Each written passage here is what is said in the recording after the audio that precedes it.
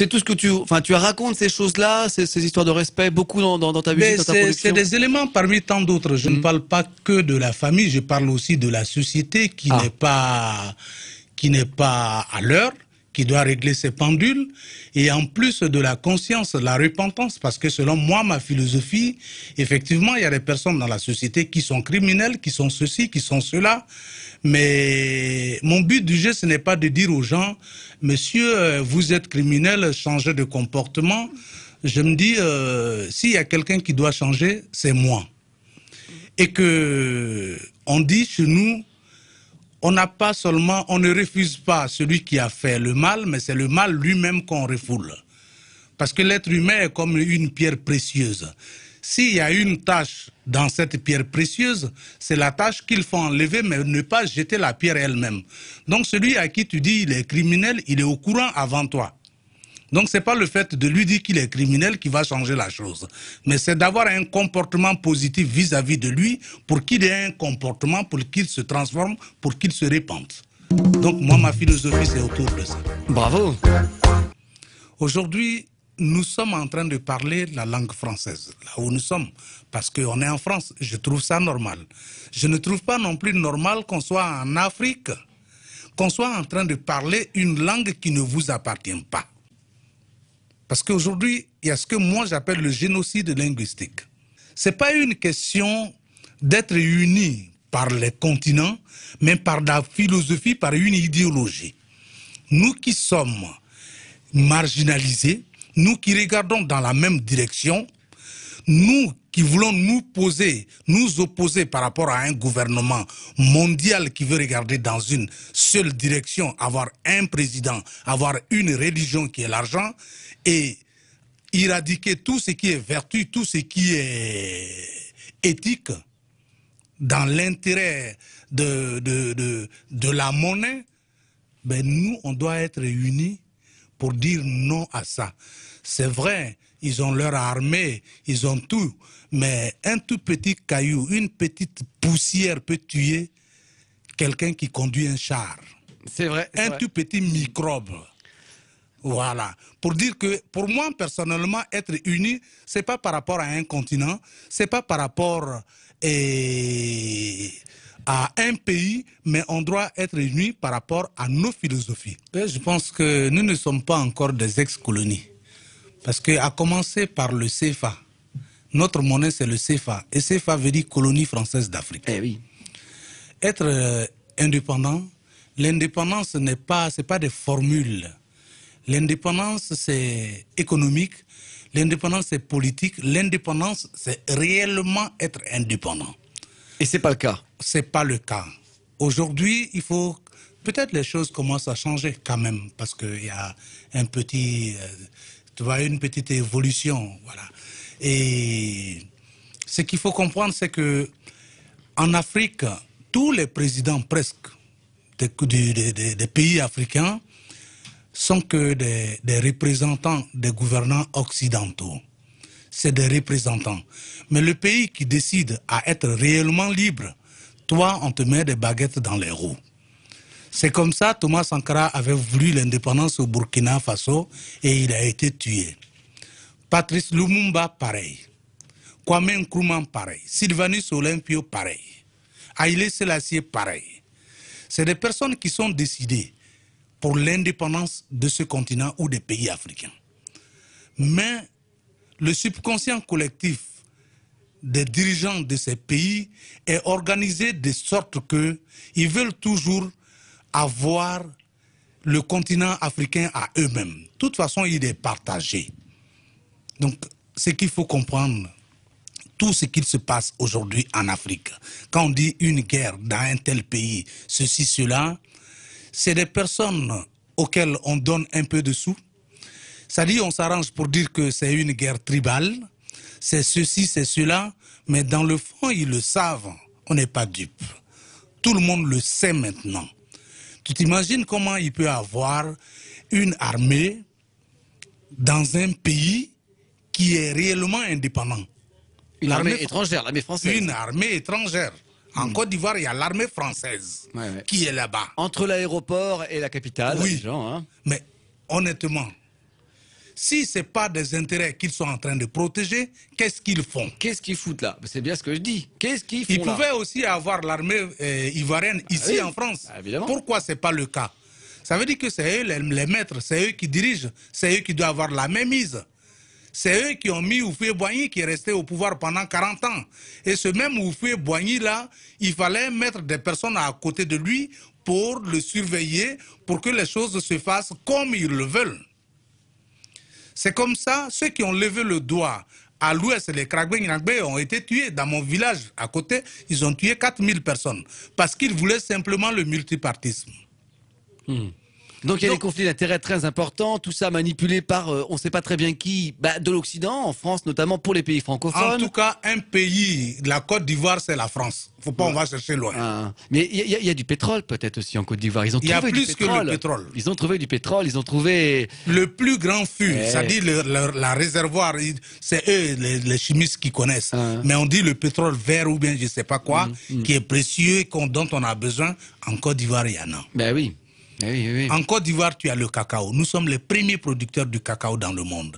Quelque chose que je déplore, parce que le cacao, on ne mange même pas Vous ça. en mangez nous. même pas, voilà. Et aujourd'hui, grâce au cacao, quand je dis on ne mange pas du cacao, c'est pas notre totem. Mais le cacao n'est pas l'aliment de base pour la population. Aujourd'hui, à cause du cacao, il y a eu la déforestation. Parce que pour faire du cacao, il faut détruire la forêt. Et quand tu détruis la forêt, 25 ans après, le cacao ne produit pas. Ça veut dire que cette forêt-là, elle est partie. Donc il y a au moins 80% de la forêt ivoirienne. La forêt primaire, hein, attention là. Bien là, là. sûr, quand je dis la forêt, je ne parle pas des jardins Ouais, artificiels. là. ouais. Je parle de la forêt. Voilà, tu la vois elle-même, elle dit, elle s'appelle forêt. Ah bah ça fait drôle Voilà, hein, quand tu la c'est vois la pas une forêt fois. où on conduit un vélo dedans. Ah non, ah non, on C'est pas- pas, non. Voilà, une forêt Ah je l'ai vu cette qui est à l'étape forêt. Donc ces forêts-là disparaissent. Mm. Or, dans une forêt, tu peux enlever tout ce qui est médicament. La nature est là pour fournir tous les ingrédients de la médecine, mais la disparition, elle est là, on la constate. Ah ouais, c'est clair. Tout ça au détriment d'un produit qui a eu une nourriture de luxe pour les Occidentaux. Ah il a... Bon, n'y a pas que le cacao, il y a le café qui est pareil, une, une oui, nourriture le de luxe café, aussi. mais le café nous-mêmes, il fait déjà Ouais. chaud. Qu'est-ce qu'on va faire le café? On Bah a oui. déjà chaud là-bas. Il y a, si, l'huile de palme quand même. Il y a, il y a beaucoup de, de, de- de culture d'huile de palme, mais ça. Il y a l'huile de palme. L'huile de palme, au moins, on consomme euh, Ouais, ouais, ouais. de l'huile de palme. Moi, ça ne me dérange pas d'avoir un palmier Mm, parce que je peux consommer ça. Mais le caoutchouc, on prend le caoutchouc pour l'envoyer ici. Ça, c'est des produits industriels. C'est pas un produit qu'on peut consommer sur place. Et aujourd'hui, sur le plan international, l'Organisation mondiale du commerce, par exemple, interdit certains pays de produire d'autres denrées. Le riz, par exemple. Nous, on- vous, vous devez produire le cacao, l'autre c'est tant, vous c'est le coton, ouais. l'autre c'est du lait. Donc, pourquoi on peut prendre du riz qui vient de Saigon, produit par les États-Unis, pourtant nous on pouvait en produire? Et ça aurait donné du travail à tout le monde en plus. Enfin, c'est. Ouais, ouais, bien sûr. Donc vraiment de grâce quoi. C'est vrai, le monde il est mondialisé, mais qu'on s'arrange pour l'humaniser. Ouais, ça serait pas idiot, ouais. Je suis d'accord.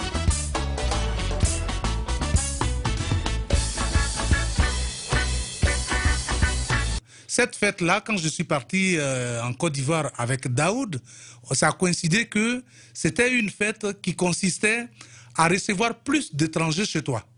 Ah ouais, c'est rigolo ça comme concept. Oui, oui. Ça dit, si toi tu as 20 étrangers, tu, tu as réussi. Si tout le monde a 19, 15, Ah. c'est toi le premier. Ah d'accord. Donc nous, on arrive et on nous invite. D'accord. On nous invite, c'était à Dabou.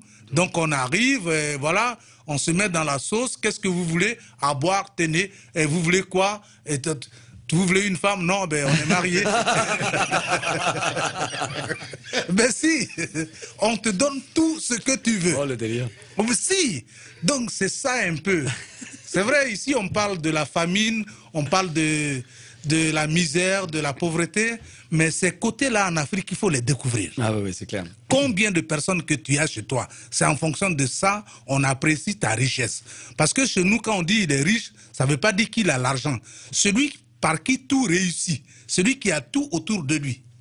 D'accord. Donc c'est ça. Non, ben, les accords de Marcoussis, c'était une manière de dire euh, comportez-vous comme ça, comme des gamins. Parce que c'est en tant que qui ils vont appeler les gens à Marcoussis pour dire que vos problèmes, nous, on les a réglés.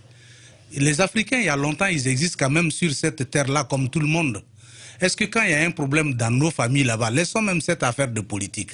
Quand j'ai un problème, mon père, il a des problèmes avec son frère, on ne vient pas à Marcoussis pour régler ça. On Bah, s'arrange, il y a quelqu'un qui est là qui règle ça. Marcoussis, c'était des stratégies pour mettre toujours au devant quelqu'un qui peut faire eux leur affaire. Chez nous, on dit quand on dit oui, le fait de dire oui que tu soulèves ta tête, ton cou ne se casse pas pour autant. Quand on dit j'ai compris, j'ai compris ne veut pas dire oui ou non. J'ai compris veut tout simplement dire j'ai compris. Donc le contrat ou bien les accords de Marcoussis, à cela on a, on a dit on a compris. Et quand on a dit on a compris, on est allé à faire ce, que, ce qui pouvait nous arranger. C'est comme ça, Laurent Gbagbo, oui, Laurent Gbagbo est allé voir Blaise Compaoré, qui est un Africain, qui est du Burkina Faso. Je ne dis pas est le saint des saints, mais de toute façon, l'homme a besoin de se rattraper par des actes qui sont bien pour pouvoir marquer un point dans son histoire. Et c'est comme ça, Laurent Gbagbo et Blaise Compaoré, ils ont signé des accords avec les rebelles. Les rebelles, bien sûr, qui étaient aussi cautionnés par d'autres personnes.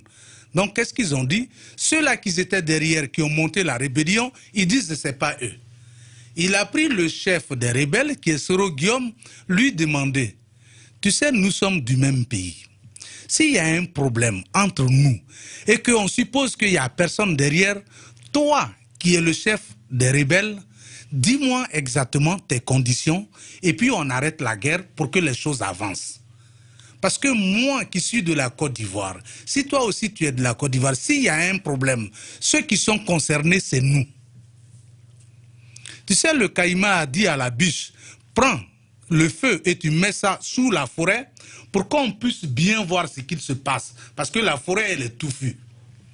La biche était prête à prendre le feu pour mettre ça. C'est le chat huant qui dort sur l'arbre qui a dit à la biche non, ne t'engage pas.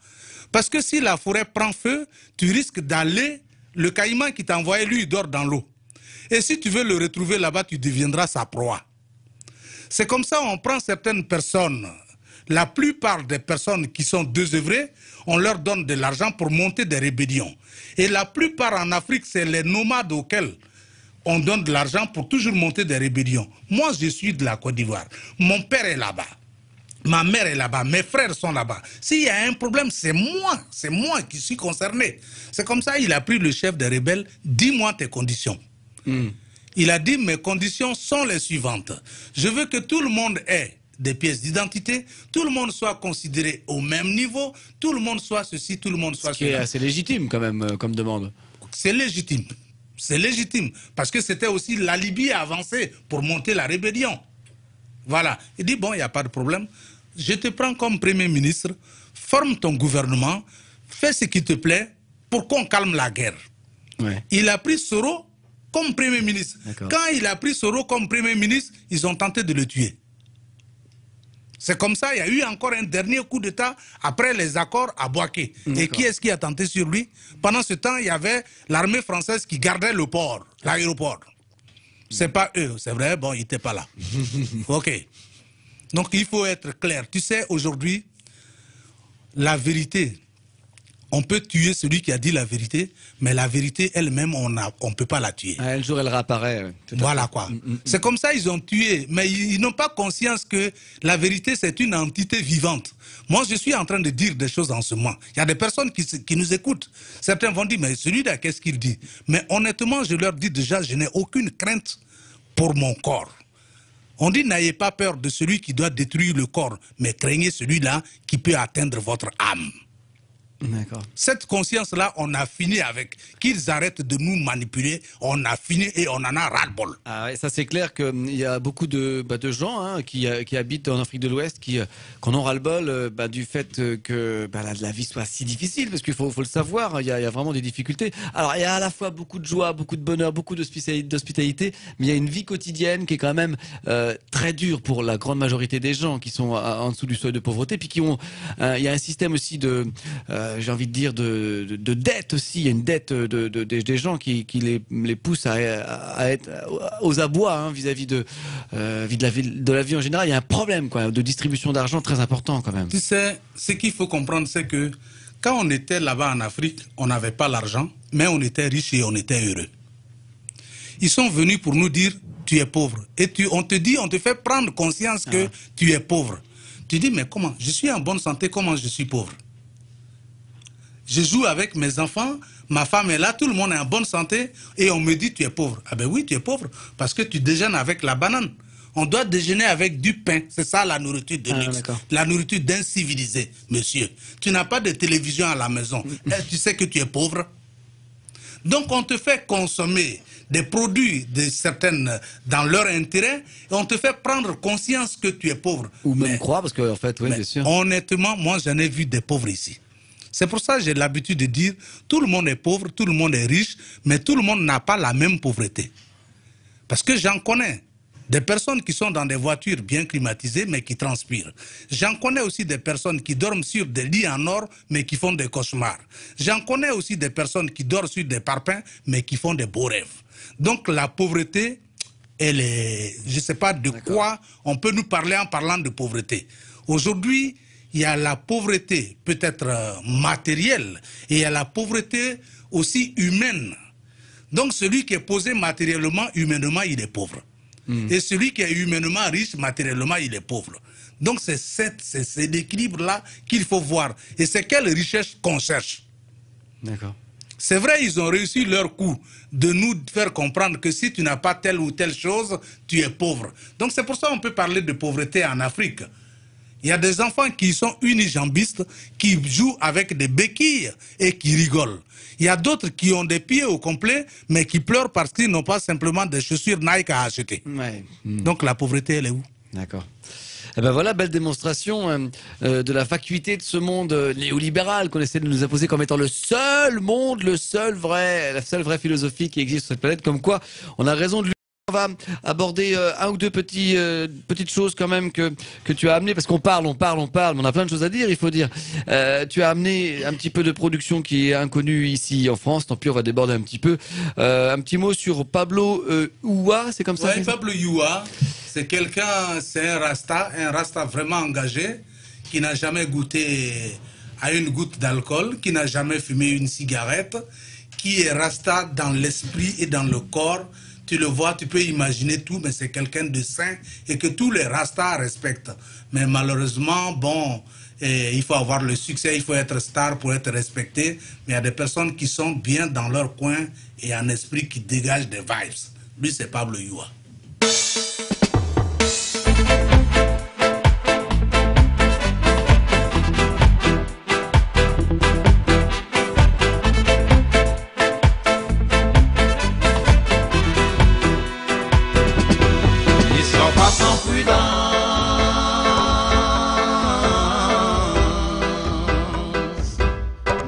Pas sans.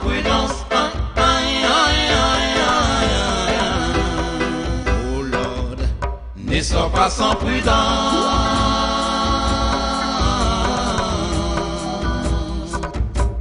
Ils sont pas sans prudence. Oh Lord. N'oublie pas ta gaine quand tu rôdes dans le jardin de la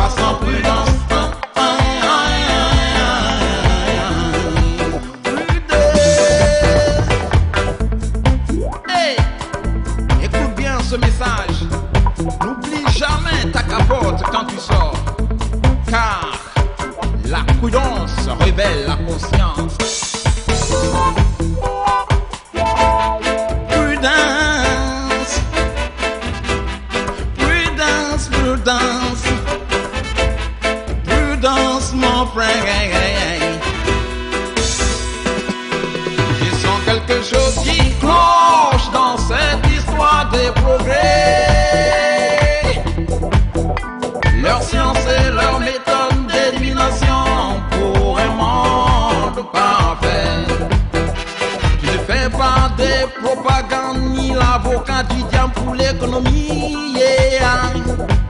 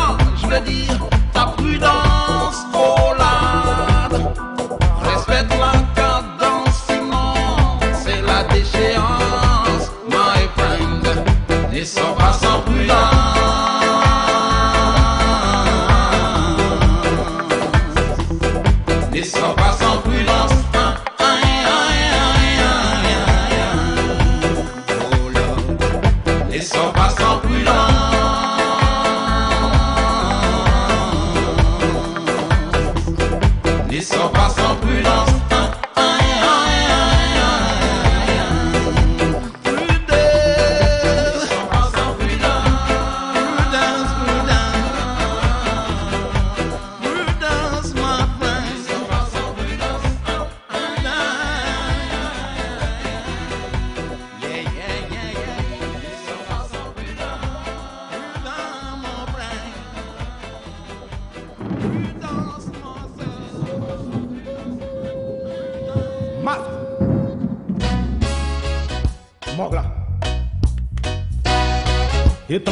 pouvoir ésotérique qui sert d'intermédiaire entre le monde inférieur et le monde supérieur.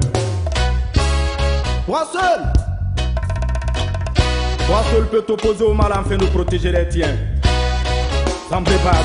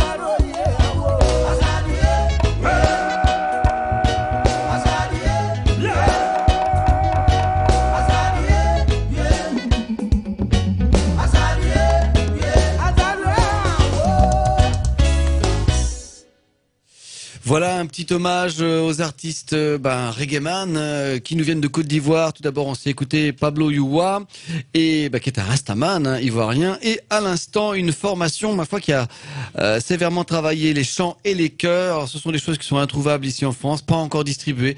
C'était Zuzuko Africa.